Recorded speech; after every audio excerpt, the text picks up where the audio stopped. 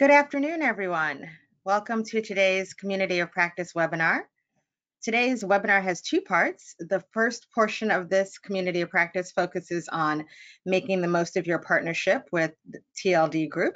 And the second half will feature TLD Group coach Mike Lindemann discussing using Hogan assessments for team building, client engagement, and ongoing consultation.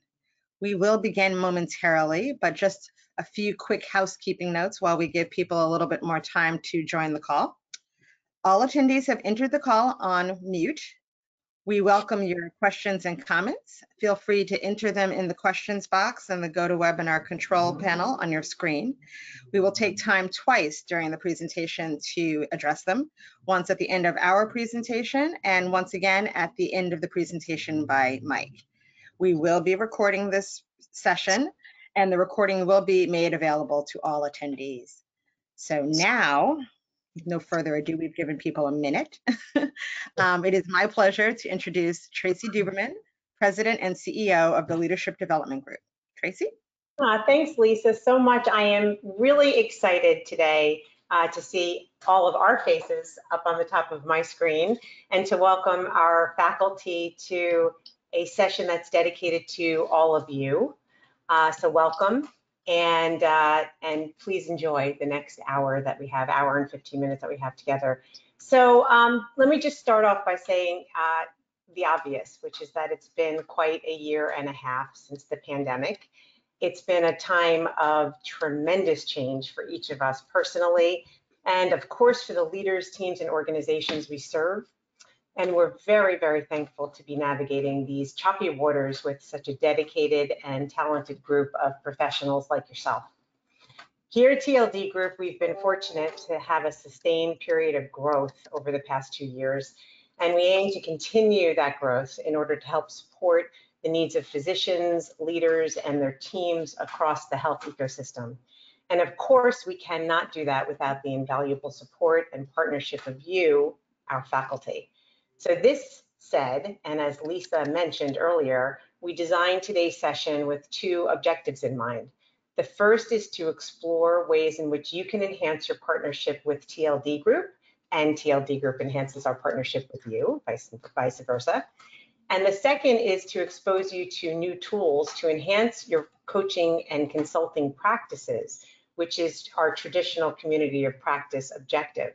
And today's session is being led by your colleague, TLD Group's faculty, Mike Lindemann, who will be presenting best practices for using Hogan assessments, which is always a, a fan favorite, um, given the meatiness and, uh, and depth of the Hogan assessment. So I'm very excited to learn from Mike. So thank you all very, very much for being here, and we're looking forward to sharing our perspective with you and, of course, learning with you today. So next slide. Super. So this year, TLD Group reached a significant milestone, celebrating 10 years of continuous growth and innovation. We've expanded our client base from traditional health sectors, such as payers, policymakers, providers, and pharmaceutical companies, to health adjacent industries, such as education, housing, and technology, to ensure that we stay true to our vision which is to enhance overall health and wellness. That's our North Star. And I'm really grateful to lead our growing team, these wonderful faces that you see up on the screen today, and to all of you for your dedication to TLD Group and to our clients. So to align on who we are and what we do, I'd like to go around the virtual room and have each of the TLD Group's core team members introduce themselves. We're going to start off with name and position, and they'll follow that by answering two questions so that you can get to know us a little bit better. The first of which is, what's your favorite part of being a member of this wonderful family, TLD Group? And two, when might a faculty member interface with you? So uh, I'll start with you, Tara. You're okay. my immediate left, so please introduce yourself. Okay, hi everyone. I'm Tara Sallow, and I am the VP of Client Solutions here at TLD Group. And this is really fun for us to do this because we don't know what each of us is going to say um, about what we love about being a member of TLD Group. So I'm really excited to see if there's any uh, patterns or replication in what we say. So for me, there's a lot that I love about being a member of TLD Group, but if I had to choose, I'd say my favorite thing is our quarterly in-person team meetings and strategy sessions, which take place in New York City or Boston and always conclude with a fabulous team dinner and Tracy ordering a minimum of six desserts. That is my favorite part of being TLD group member. Um, and you might see me when you've been selected as the TLD group faculty member for one of our executive coaching, consulting, leadership development, or speaking engagements within one of the client organizations that I'm the client relationship management manager, manager for. Um, so I essentially serve as the intermediary between you and the client to ensure you get the support and consultation that you need to meet client expectations. So over to you, Ro.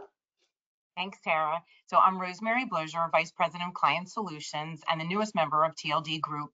Uh, my favorite part about being a member of TLD is being immersed in a true learning organization. Um, every day provides opportunities to continue to learn about the industry, talent management, creating innovative solutions for our clients. So it's never a dull moment around here, as I'm sure you all can imagine. Um, you might see me when um, we're on a call with a client together in hopes of landing new business. Um, we're working on a proposal and evolving the design together uh, or we're discussing a coaching engagement for a specific client with me sharing organizational updates that might impact the coaching and you sharing high level themes and or feedback that are coming from the coaching engagements. On to you, Lisa.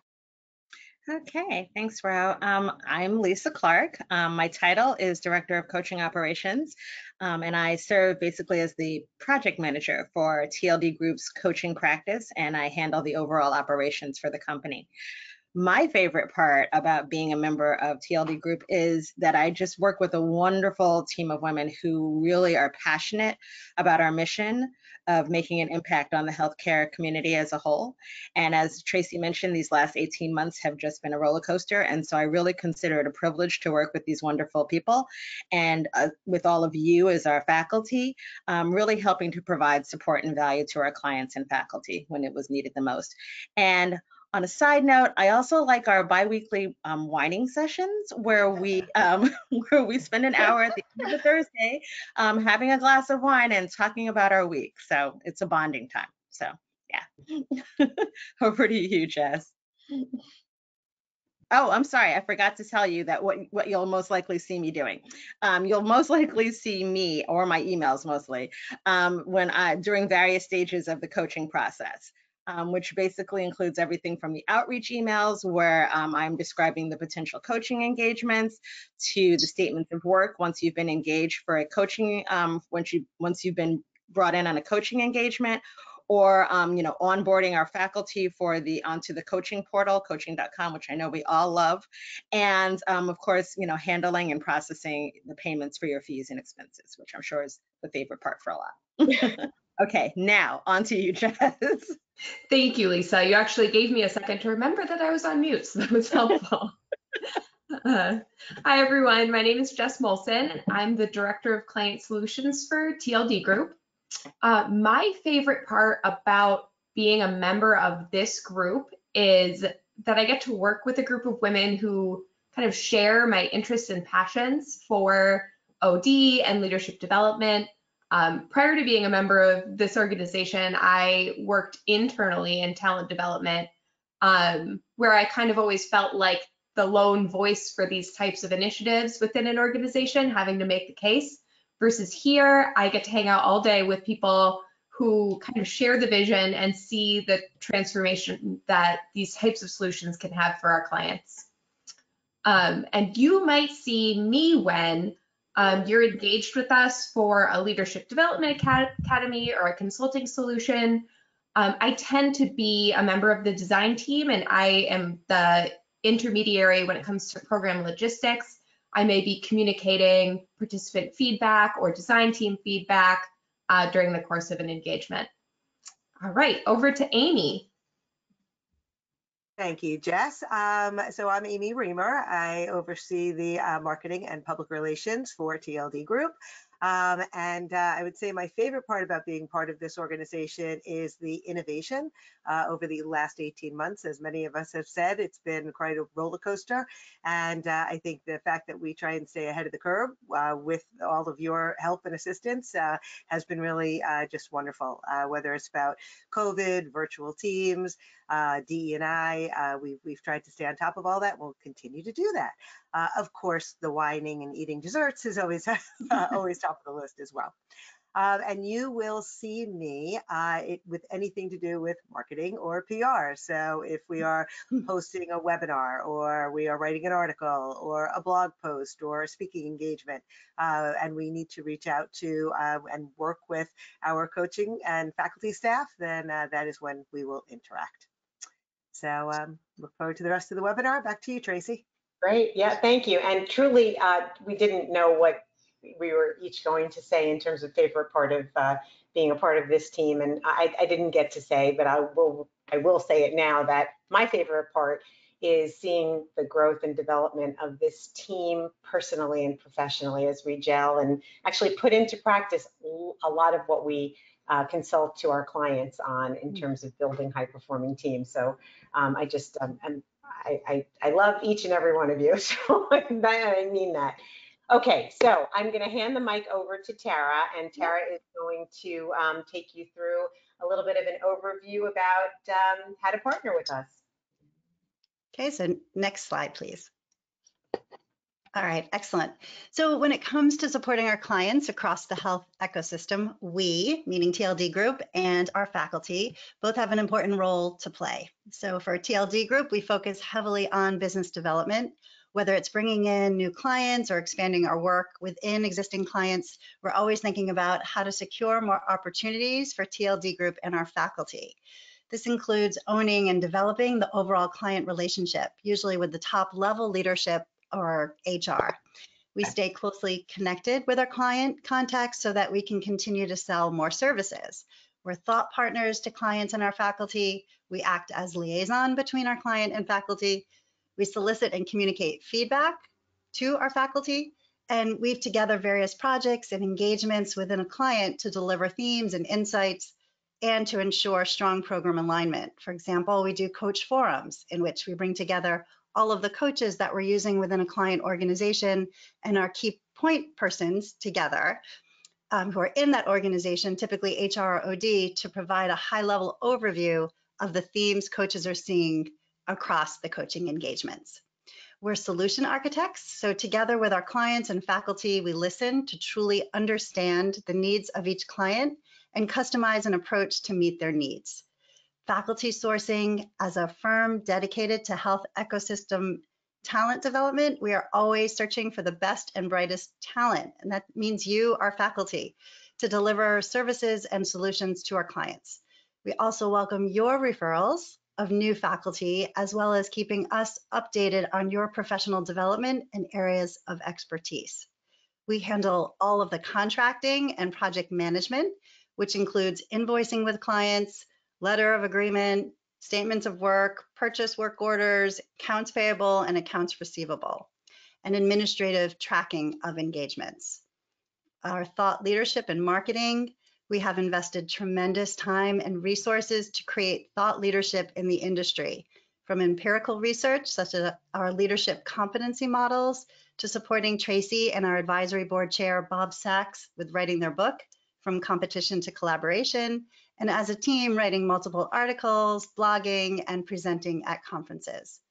Marketing to clients, whether it's email marketing, social media, blog posts on timely topics, white papers, or webinars, we always strive to provide timely content to our database of contacts on HR and leadership development topics. Networking, we're always out there moving and shaking, whether it's taking contacts out to lunch, meeting for a virtual coffee, helping top leaders navigate transitions in their careers, or joining relevant boards. Please know that we invest a lot of time into maintaining existing relationships and developing new ones. We work to position our name as an authority in the leadership development, OD, healthcare, and executive coaching space through speaking at major industry conference events and through publications. Then we work to capitalize on the authority through consistent branding, for example, using our TLD group Zoom backgrounds, our TLD group email for all client communications. And from you, our faculty, we expect in many cases co-designing the solution and delivery of the service provided, coaching, action learning, team development, org design, etc. Building an impactful relationship with the receiver of services and their key stakeholders. So that's the coachee, the team, the HR business leader, managers, etc. Liaising between TLD group and the client organization in terms of you being our eyes and ears for team and organizational dynamics that we can leverage to provide more talent development solutions. And finally, carrying out the administrative tasks associated with engagements. So that's submitting your invoices, making travel arrangements, updating coaching.com, etc. And on that relevant administrative and operational note, I now hand the presentation over to Lisa to uh, take you through our next slide. Okay. Thanks, Tara. All right, so now that we've more clearly outlined what our respective roles are, um, let's discuss how you can help us help you and vice versa. Um, our overall goal is to support you and to ensure you as the faculty and to ensure that we are continuously adding value to our clients. And we've broken that down into four categories. Number one, um, stay closely connected to your CRM and project manager during engagements. What does this mean? Basically, we ask that you proactively stay connected to your assigned client relationship manager and project manager in order to keep abreast of client updates it's our role via the project manager and CRM to let you know what's going on in the client organization. Sometimes we have that 30,000 mile viewpoint because we're dealing with the HR and talent management um, members. And um, whereas you, on the other hand, have boots on the ground. So we ask that you keep us in the loop on what your coaches are telling you. Sometimes um, that differs and it sometimes supplements what we're learning from HR. And then ultimately, our goal is to be able to share that information, that knowledge, while maintaining confidentiality, of course, um, in our triannual coach forums, which Tara mentioned, um, with talent management. We conduct these coach forums when we have three or more coaching clients within an organization. So um, usually they happen, we were trying to do them quarterly, but um, usually we, we manage to get three done a year. And um, it really presents an opportunity for you to meet with the talent management leaders and for you to express the trends and themes that you're seeing within an organization. Number two, listen for opportunities to expand work. The beauty of TLD Group and the partnership that we have with our clients and faculty is that we have a variety of solutions to offer. Therefore, we ask that you keep your eyes and ears open for ways to add value. For example, Individual coaching can transition into team coaching or even a coaching academy. Standard coaching can turn into an accelerated assimilation coaching engagement, which is basically new leader onboarding um, if the client is transitioning into a new role. How does that help you? Well, we offer a referral fee. Everybody likes that. what we like to call a business development bonus. You as the faculty receive this bonus when coaching extensions are secured or an existing coach, uh, an existing client requests you prior to, for, to our formal sourcing or you refer additional work from an existing client to the company. And if you refer new business, which we always love, um, as in a client that's not already on the TLD group roster, there's a bonus for that too. The point is that TLD Group has many talent development solutions and therefore many opportunities to, to provide value and support to our clients. So, like we say here in New York, if you see something, say something. Okay. Um, lastly, though it is rare, we sometimes receive requests from existing coaching clients looking to switch over to private coaching or even leaders independently looking for private coaches. And we are happy to handle those on a case by case basis. So feel free to bring that to our attention as well. Um, number three, share your knowledge with our audience like today. Um, lead a webinar, share a white paper, tag us on social, share stuff for us to post on social, attend community of practice sessions like this one. And just to clarify the difference between webinars and our community of practice, webinars are externally facing presentations.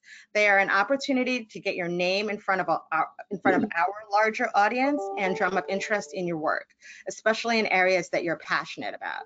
We've been putting a lot of work into expanding our webinar audience.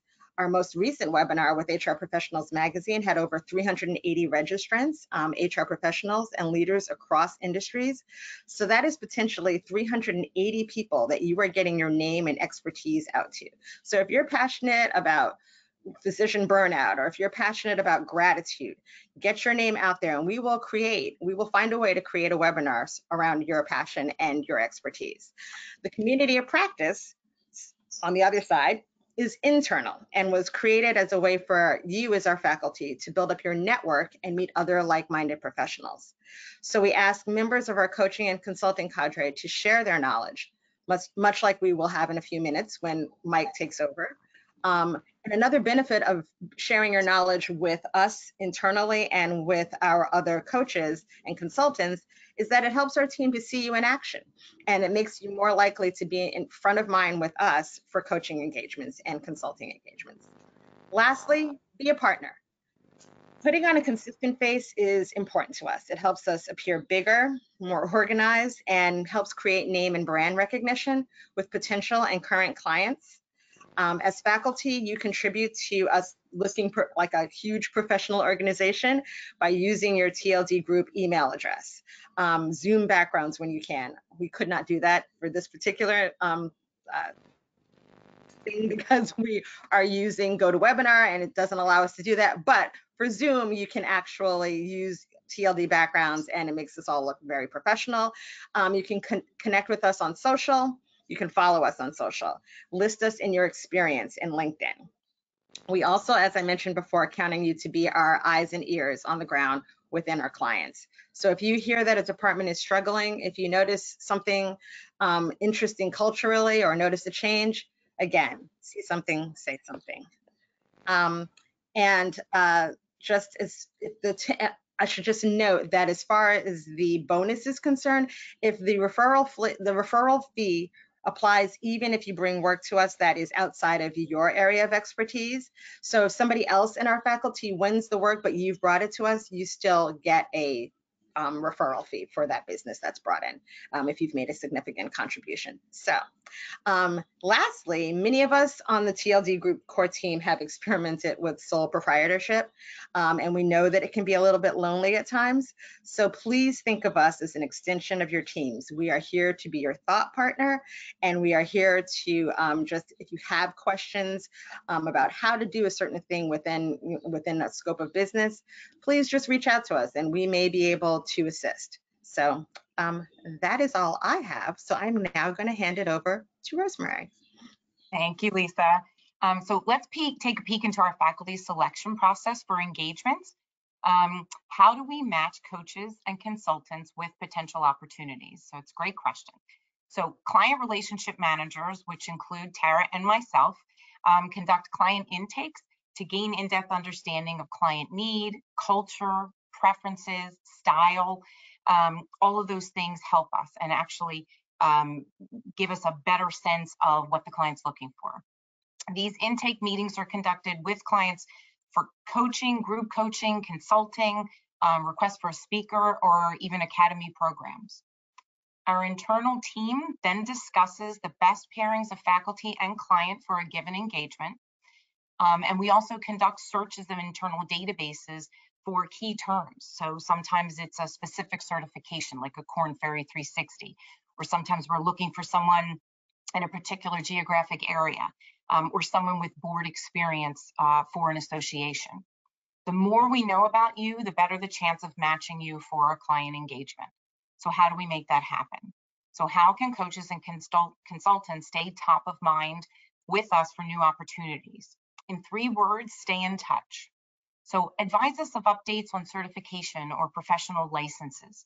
Um, again, have keywords in your profile. Let us know your strengths, your passion areas, your story of why you became a coach. Healthcare specific examples resonate, of course, with our clients. However, cases you have done outside of healthcare that allow you to bring, it, bring in best practices are also highly valued by clients. If you specialize in something, such as board governance, please highlight that for us. Share your thought leadership. We match often based on client consultant philosophies and approach. So as Lisa was saying, if you like to present, if you're conduct, you like um, conducting live workshops, uh, you can do a webinar for clients like the series we're partnering with with HR professionals.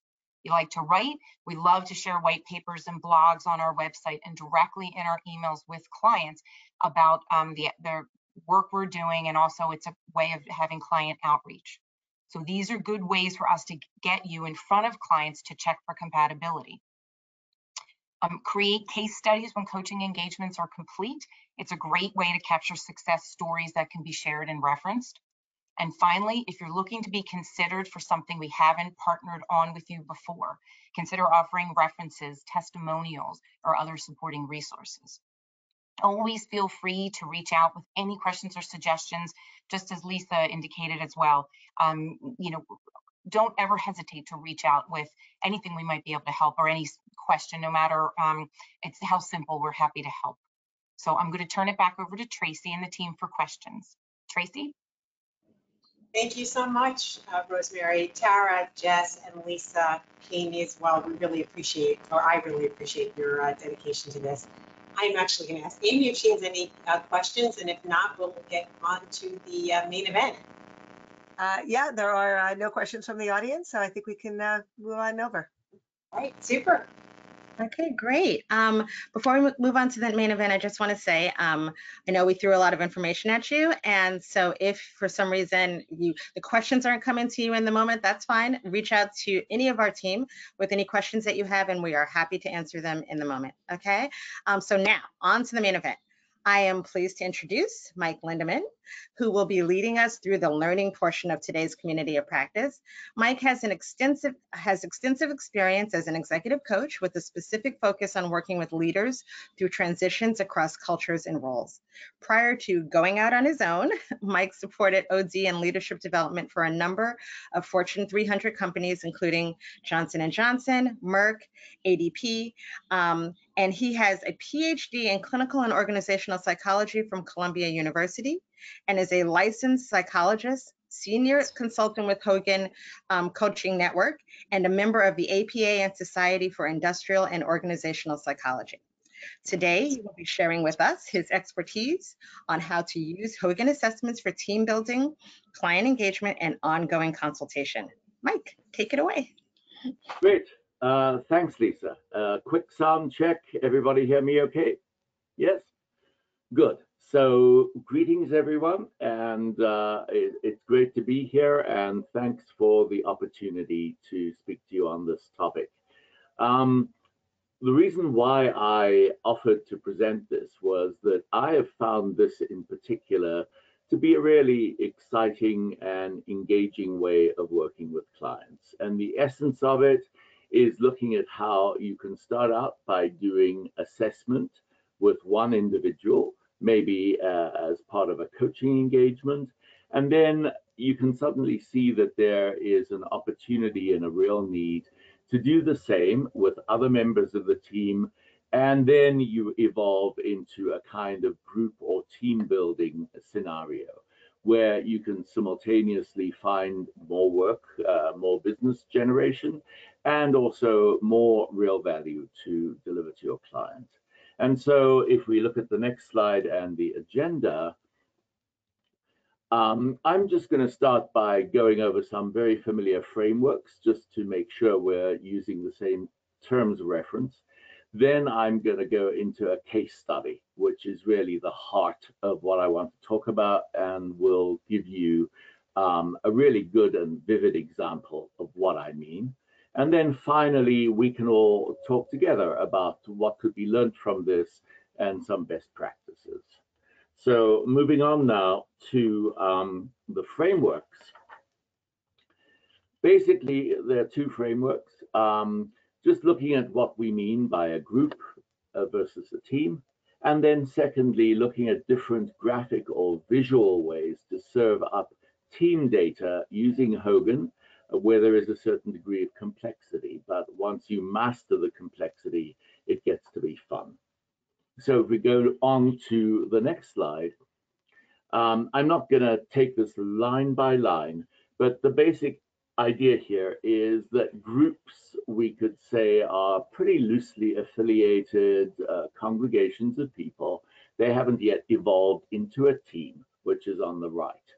And an example that's sometimes given would be a very traditional approach to a sales team, where you have these individual sales reps, and really it's just the sum of individual efforts rather than some kind of synergy which is more than the sum of its parts.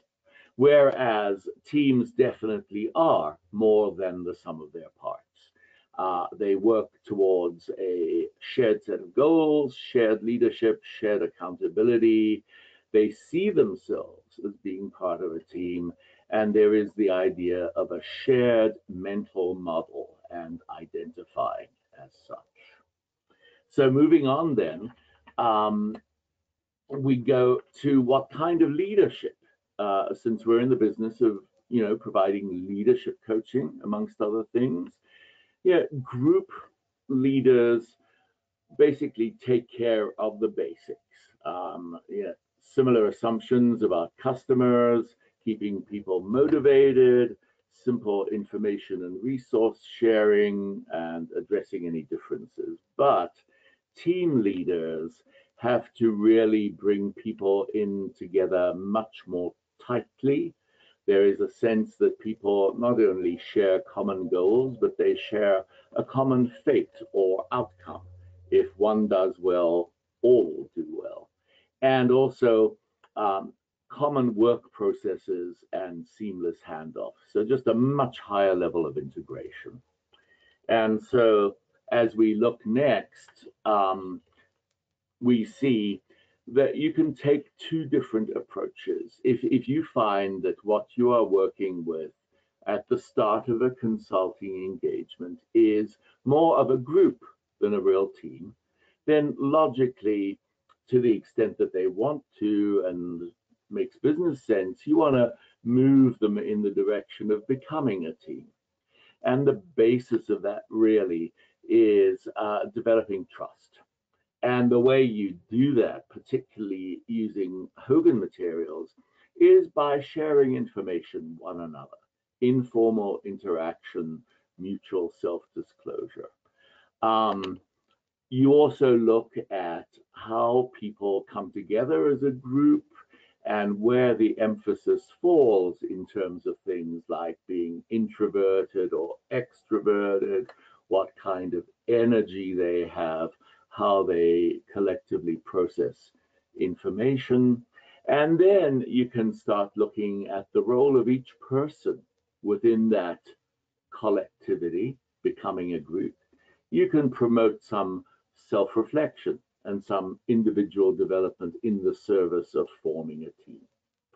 If you're going to do that um, with the Hogan, you obviously need to find out ahead of time whether these people are familiar with Hogan. You might start off with very basic individual assessment and feedback. And you might also start looking at how well the people actually know one another and whether they're up for a degree of self uh, disclosure as part of uh, a team building session. Now, on the next slide, we look at what happens if you are starting further down the road. So if you're starting with what is already a team, and again, I would say, I would call it a team where there's a foundation of trust. The roles and the processes may still need a lot of clarification, but if there's that basic trust, then um, I think you can move forward on the assumption that it's a team that you're developing rather than a group you're trying to change into a team. And here the purpose of the session will be to have a deeper understanding of the dynamics, again, looking at individual contributions and see how individuals can maybe exert a stronger influence on the overall direction and uh, progress of the team. Here, we would really strongly recommend that start out at the individual level with individual Hogan debriefs. And then also, there's going to be a very high level of interaction with the team leader prior to the session, really looking at what's working well in the team, also looking at their business goals, and then looking at what might be helping or hindering in terms of how they're currently working together. So the next thing I want to say by way of setup is just um, there are a number of ways in which you can serve up group data. I mean, most of us have seen individual profiles, whether it be on a Hogan or on a Myers-Briggs, a DISC, um, you know, uh, whatever um, instrument. But here, I just want to illustrate two forms of um, group data sharing. These can be very easily ordered from Hogan. The great thing about this work is once individuals have taken the three Hogan instruments, and we'll talk more about them in a minute, Hogan can very easily generate many different kinds of reports without anybody having to take additional tests or answer any more questions. So all of these are overlays on top of, you know, the basic thing of somebody has answered the questions. The first way we can do this is in this bar graph format. Here, we're looking at the Hogan personality inventory. You can see down the left-hand side the seven scales that make up that inventory. Um, Hogan uses group norms, usually global norms, uh, which, as you may know, is a sample of well over 100,000 working adults that they've been building up since the 1980s. It's one of the most robust uh, reference uh, databases of its kind that exist. Here in the um, darker shaded band, for example, with adjustment, it goes from 40 to 70. You can see that that is um, the group norms um, in terms of where the average and one standard deviation above and below the mean may fall. The yellow um, bar suggests that on adjustment, uh, the global norm group has an average roughly 55 percentile points.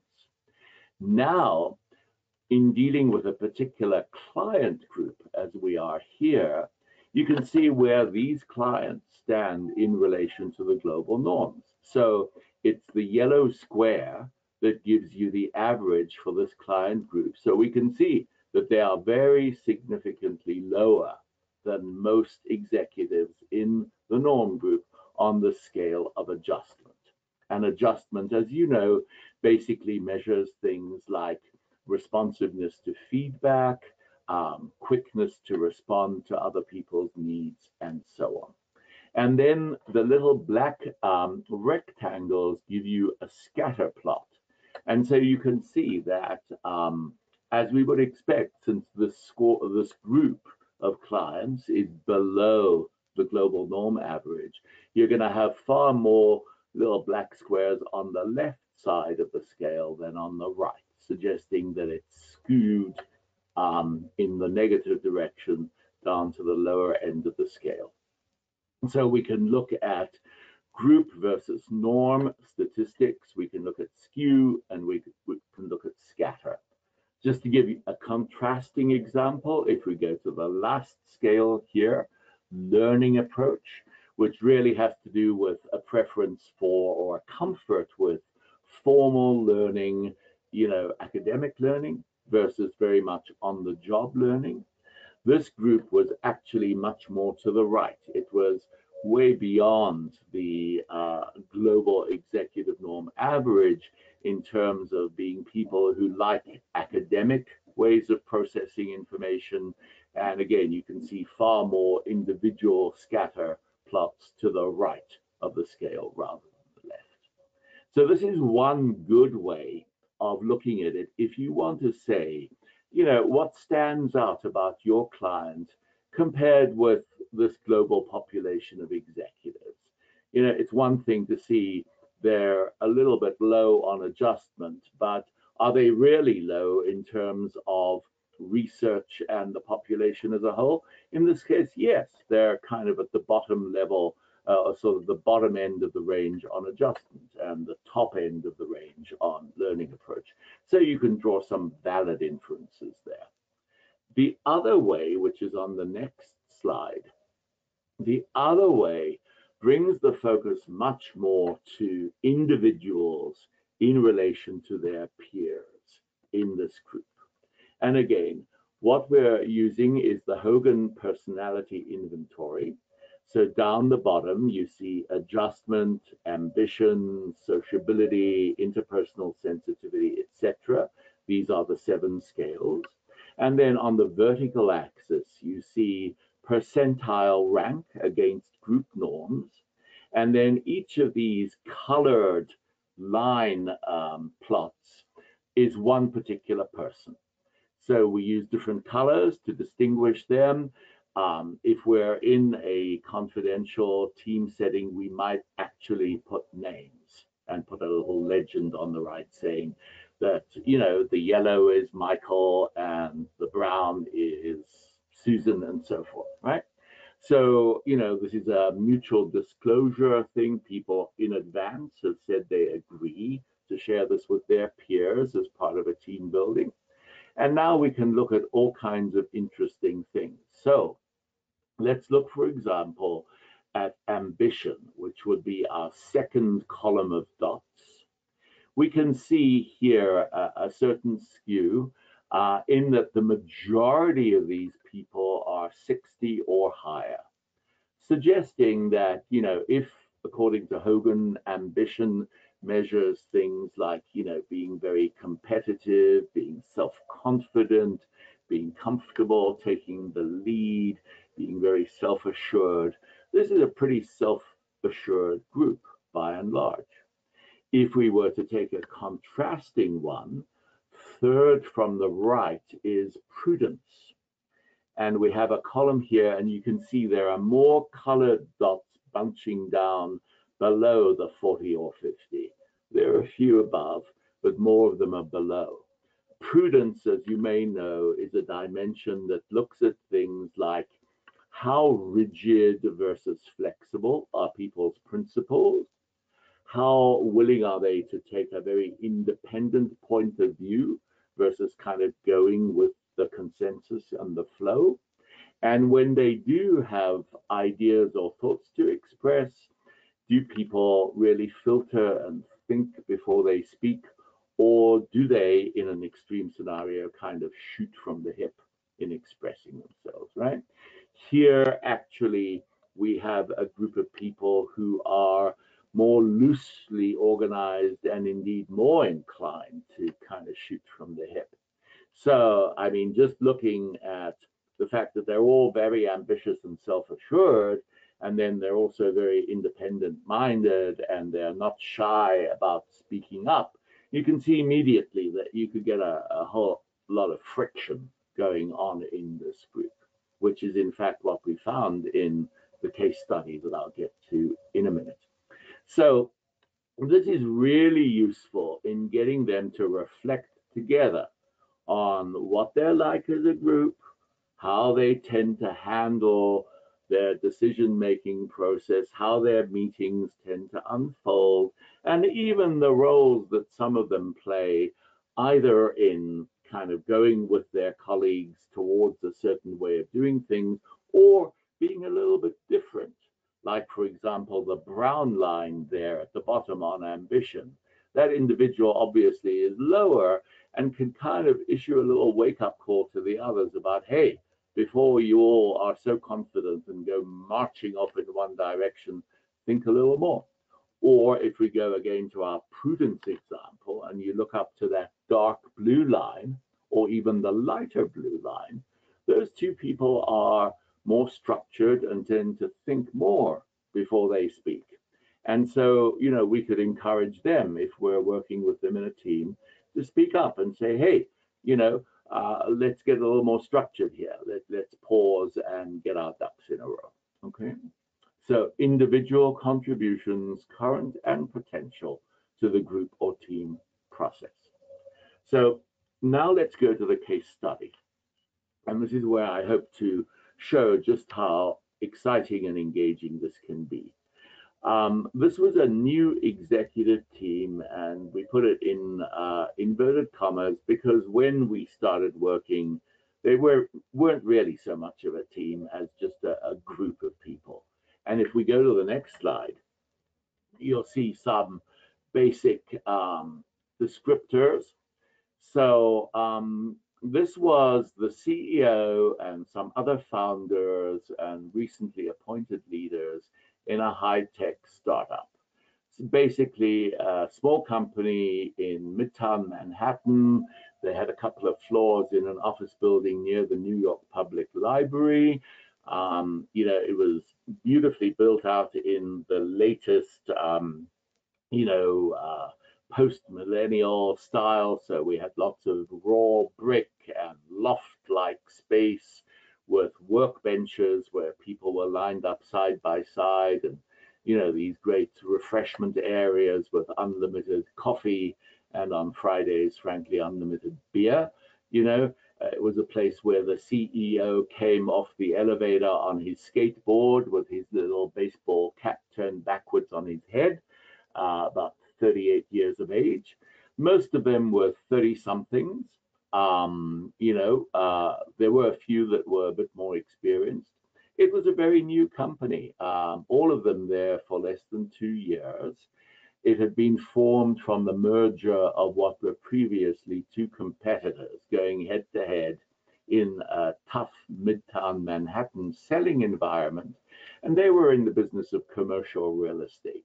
They were trying to create um, an electronic platform for everything to do with buying and selling real estate. If you think of uh, Zillow or Realtor.com or Trulia for you know uh, domestic uh, houses, and just think of a corporate version, you'll get an idea of what they were about. Their strengths were that they were very innovative, very energetic, and full of self-confidence. Uh, my colleague and friend and I were actually brought in by the board, and these were portfolio investors in this group. And they had strong concerns about whether this bunch was going to be able to meet its financial business goals and show a path to profitability. There was also a lot of friction in the group, a lot of contentiousness. And when we did our 360 interviews, as well as doing our Hogan debriefs, it became very clear that there was a, real lack of clear roles and processes. They were stepping on one another's toes. Uh, there was a lack of real shared goals or interdependence. A lot of them were plotting and scheming against one another or getting ready to bail out. So it really wasn't a, a, a team. And I just want to go into the next point in a bit more depth. So on the next slide, uh, we're looking at what we're really trying to illustrate with this case study here in today's meeting, which is how an engagement can grow and evolve. So again, this started out with a request to me and my colleague in private practice from the board for individual CEO assessment and coaching. And so we worked with the gentleman on his skateboard and in his uh, little beanie cap. Um, very talented guy. And he was intrigued by how the Hogan assessment seemed to really give uh, an almost startlingly accurate picture of how he operated. And then he said, hey, wouldn't it be great if we could also get this information for my leadership team? So that was our signal to do individual work with the rest of the leadership team. And so now all of a sudden we had the uh, building blocks of those composite graphics that we illustrated before. And we could sit with the CEO again and look at the scatter and look at the measures of central tendency and dispersion. We also, during the conduct of the feedback, had garnered many examples of how, with their ambition, they were all clashing with one another, and with their low prudence, they tended to be a little slipshod and messy in their execution. And so we were very naturally able to make the case for doing this now as a group or team. We politely used the word team, even though we knew they were more of a group than a team. And um, the, the genuine need for this work was immediately understood and embraced by the CEO and all the leadership team members and the board. And so we were able to move forward with the assignment. And it's our hope that uh, this little case might inspire you on our call today to think of similar things. So if we move on, on the next slide, I'm just trying to give you a brief reminder of the three Hogan instruments. So we have your personality inventory on the left with its uh, yellow uh, signature color. This is uh, basically normal personality under normal working conditions. We can look at it in three buckets, uh, people's general emotional temperature and their energy. Then secondly, how they are wired in terms of interacting with people. And then thirdly, their decision making and information processing. Um, then we can look at the HDS, the development survey, which looks at leadership profiles when the leader is under stress. And so you might see some things exaggerated and amplified. For example, high ambition can turn into an excessive degree of boldness and coming on too strongly. Or on the other hand, somebody who is prudent and cautious and judicious may actually become too constrained, too careful, too skeptical, and kind of freeze up. And then finally, motives, values, and preferences look at the core values, which ultimately become needs that people bring to a job things that they really need to be able to satisfy or fulfill in a job in order to feel good about the job. So that's what we're measuring. And so if we go on, we see on the next slide, the core exercise that we like to use. And when I say we in this context, I mean those of us who are part of the Hogan uh, Feedback Coach Network. Um, there's something called the human histogram. And it's an exercise which we're illustrating here with the personality inventory, but it can be done with the others as well. It can be done face to face, or it can be done virtually. The face to face example, if we were in a conference room and if I were with this team now, I would say, okay, folks, uh, and you can see this on the lower right of the screen here uh, please take a look at your flash report. The flash report is a two-page summary of all of their scores on all the scales and subscales. And then I might point to the four corners of the room and say, if you're 0 to 25, please go to that corner. If you're 25 to 50, go to that corner, etc., filling up the four corners of the room. If you're doing it virtually, then there are a variety of other ways in which you can share. But the idea is for people to physically be able to see one another in terms of where they stand on a particular distribution, maybe starting with adjustment on the HPI. I'll never forget the first time I did this, I was actually being trained by somebody at Hogan and we were on the roof of an office building in Jacksonville, and there was an old swimming pool there which had been drained of all its water. And he had us actually go down into that empty swimming pool and stand in there in the four corners, which made it pretty dramatic. What we do, if you look at the next slide, is as the people are standing up and moving around, we give them this handout for reference.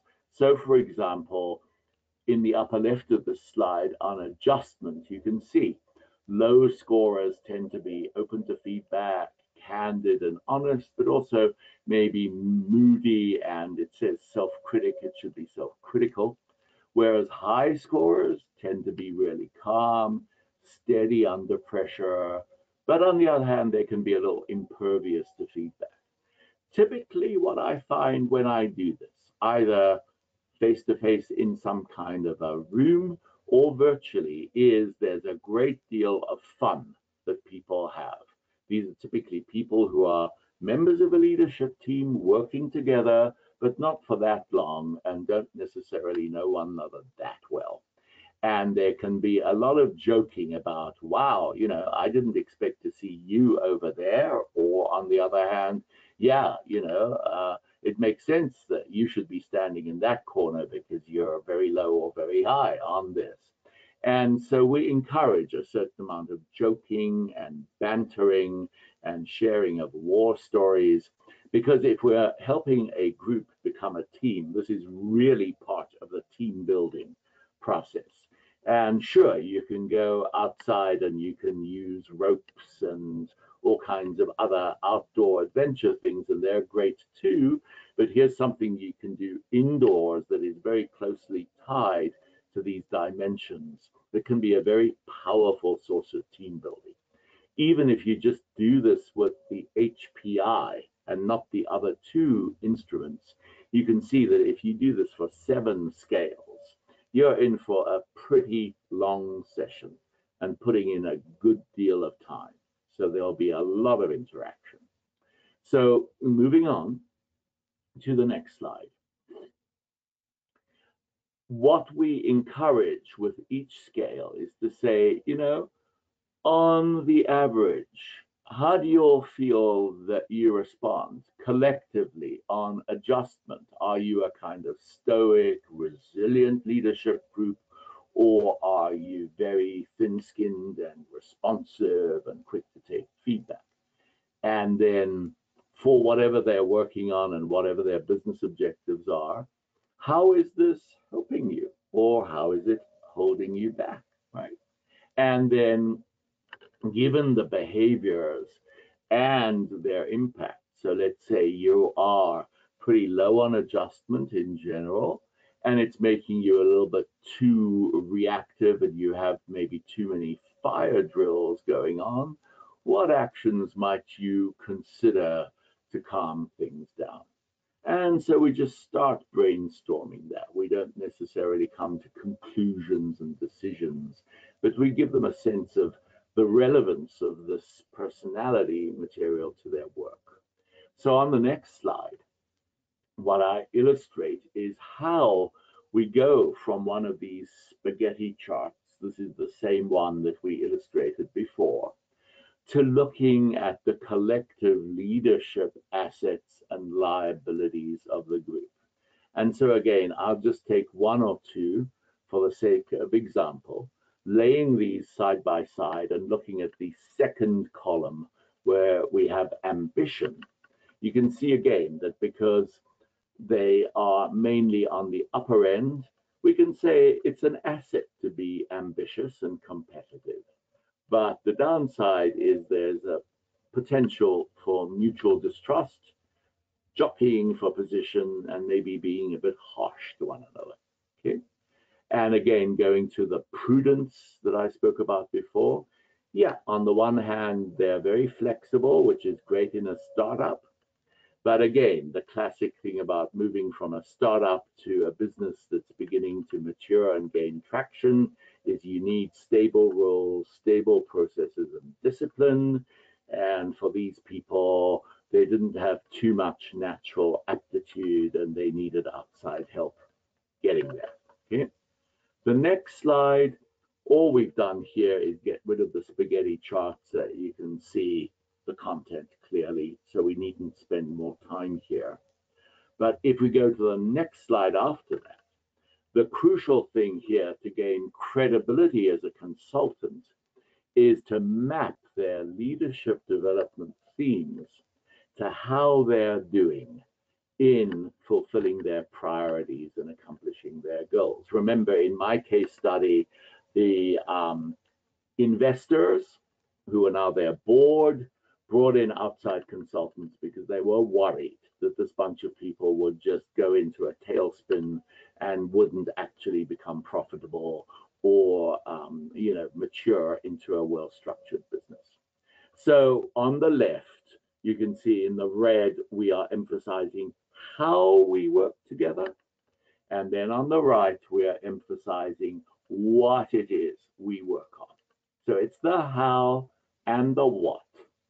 So in the how, we've got themes like we need more trust, we need more process, more planning, we need to get better at having constructive rather than destructive dialogues. They were pretty scattered on interpersonal sensitivity.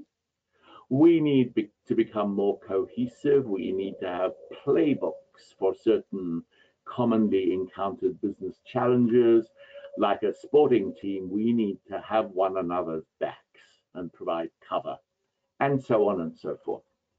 And being better in all these areas would help them accelerate towards accomplishing their priorities and goals, which were, in this case, to know what are our main tasks for the rest of the fiscal? What are the major cross-functional processes? What performance indicators have we not yet agreed on that we should? Uh, what high level project plans do we not yet have that we absolutely need? And so on.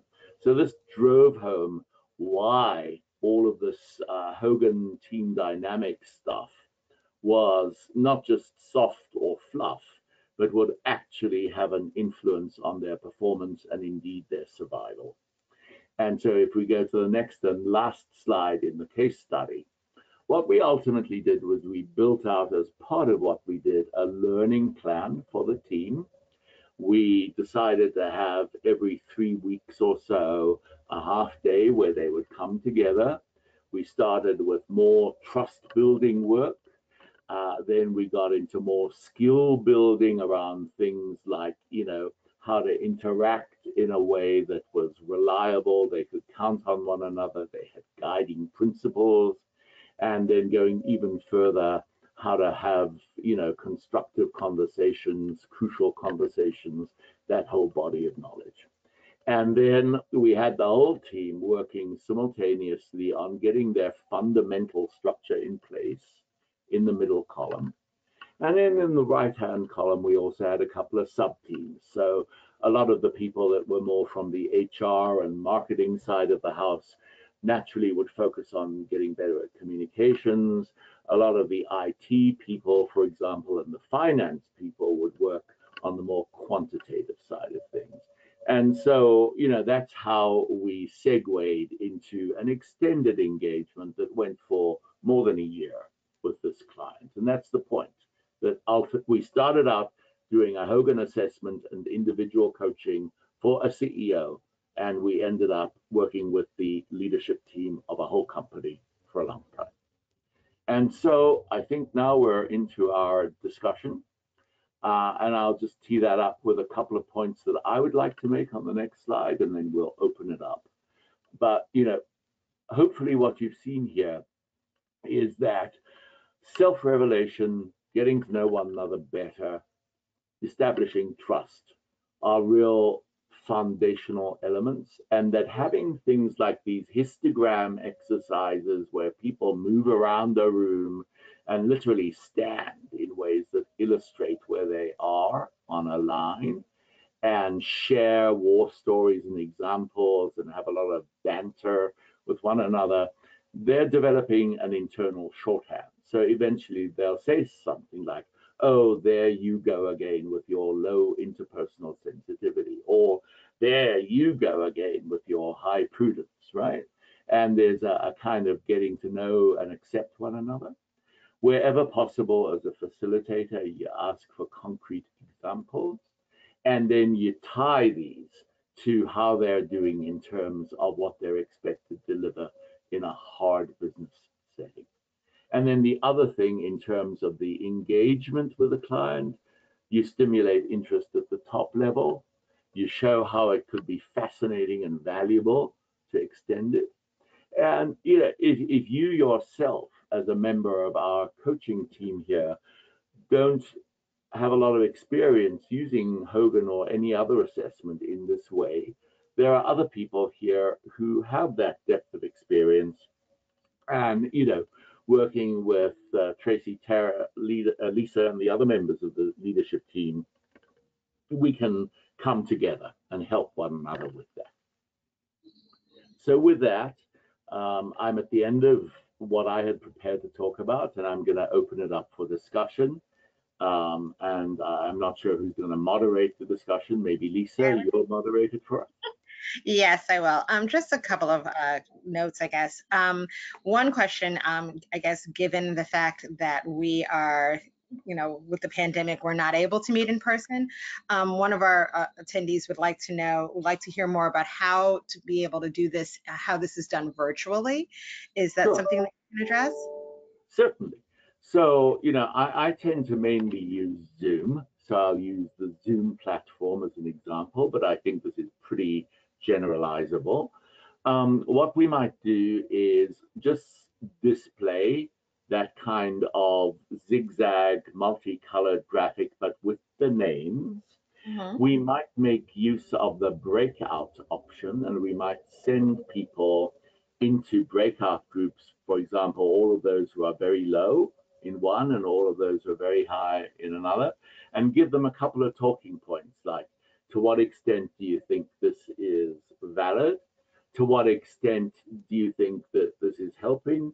And to what extent is there a downside where you might want to flex? So if you're very low, you might want to try to cultivate a higher degree of um, emotional resilience or uh, approaching people in a kind and positive rather than direct manner, etc., etc.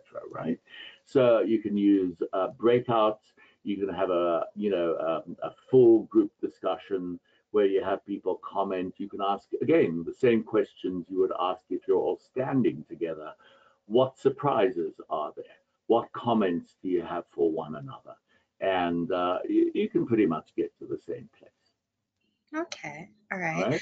Um, one other question. Um, since understanding a Hogan profile requires understanding the juxtapos- juxtaposition of pairs of multiple dimensions, how Yeah. would presenting the group profile help understand the group's behavior?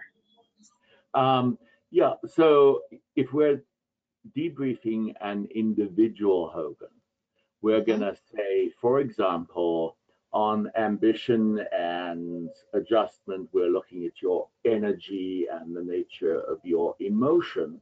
And then, for argument's sake, we might say now, when we get to um, inquisitiveness and um, learning approach, we're looking at your information processing style, which is more of the intellectual side of things. And so, again, in an individual profile, we might say, you know, on the one hand, we have your emotions. On the other hand, we have your thoughts and the structure. How do they go together?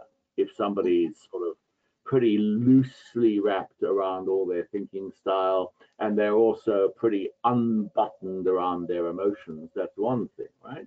On the other hand, if they are pretty loosely wrapped in their emotions, but very tightly structured around their thought process, then you might have a complementarity and a balance and an offset going on. Basically, the same thing goes with teams.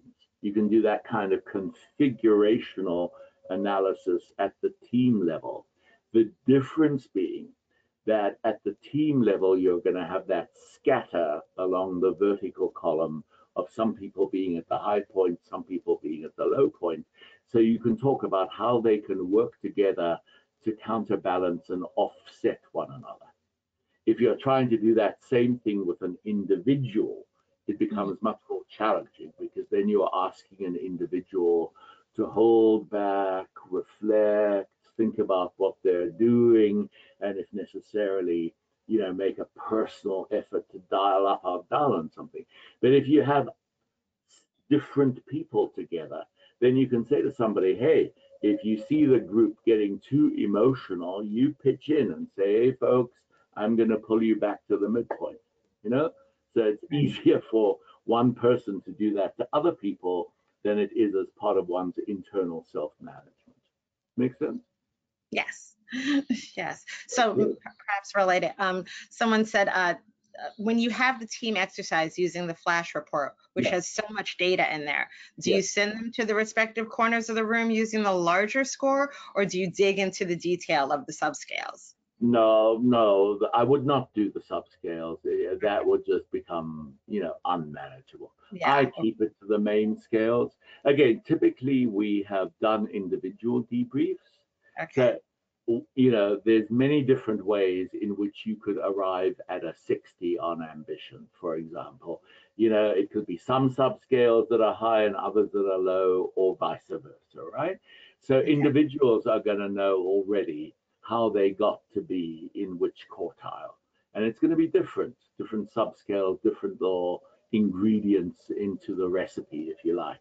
Okay, so you can draw on that if there's further probing discussion. So for example, if we have John Q. Public and he's standing there being very low on ambition and Mhm. people are talking about if he might want to volunteer, well, most of that comes from the fact that I'm never satisfied with what I accomplish. So that would be the accomplishment sub subscale where he would be low and that drags down his overall score. Whereas somebody else, for example, you know, might be low on accomplishment because they're low on something called social anxiety and they're a bit more introverted. So there's different reasons and that could come out in the discussion. But I wouldn't actually structure uh, the exercises because then you're going to have hundreds of, of Right. rounds of that, right? right.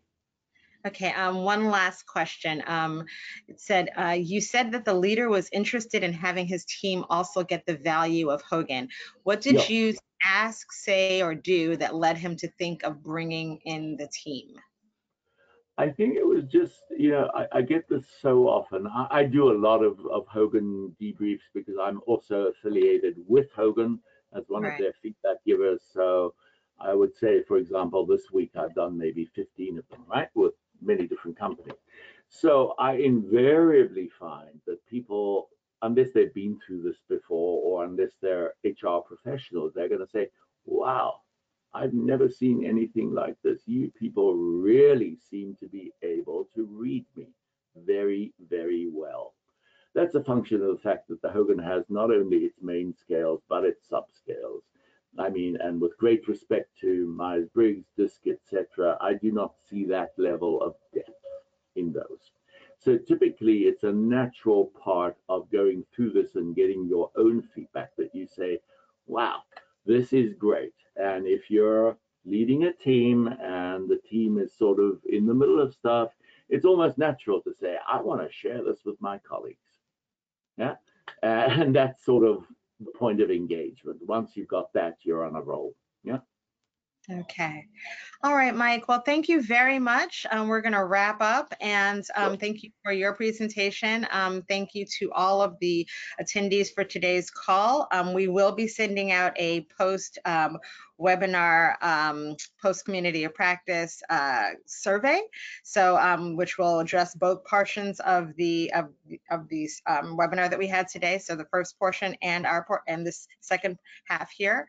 So um, we hope that you guys will all respond to that. And again, if anybody has any questions of us as a team, of Mike um, and his portion of the um, presentation, please feel free to reach out to us via email or give us a call. Okay.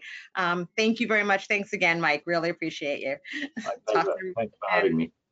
Okay. Take care. Bye bye.